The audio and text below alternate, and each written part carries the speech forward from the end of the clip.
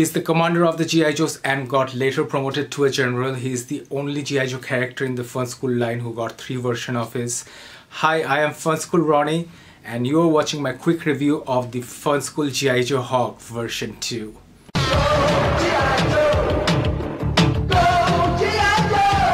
This is the version 2 of the Funskool G.I. Joe Hawk. The first version, also known as the Blue Hawk, came exclusively with the orange-yellow MMS and is considered one of the rarest figures in the Funskool line.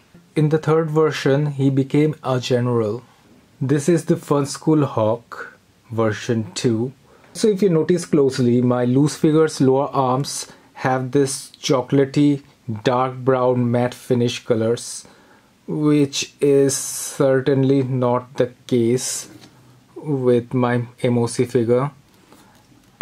Also, I noticed that the mold details on his belt buckle varied. The one on the MOC seems to have no details, while that on the loose seems to have all the details. A variant, let me know what you guys think. Now let's compare the Hasbro US release on the right with the Funskool India release on the left. The figures are mighty similar and almost indistinguishable.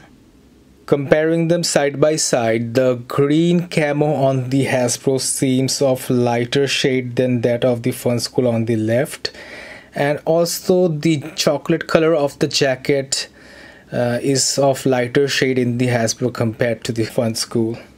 Comparing the accessories from my MOC, the Hasbro backpack seems to be of lighter shade of green as is the helmet while the black pistol seems to be perfect match. That's my quick review of the Funskool Hawk V2. Hope you guys enjoyed this video. Give thumbs up to the video if you did and sub to my channel if you haven't already. I regularly post Funskool stuff in all social media platforms. You guys can check links in the description below. And until next time guys, yo Joe.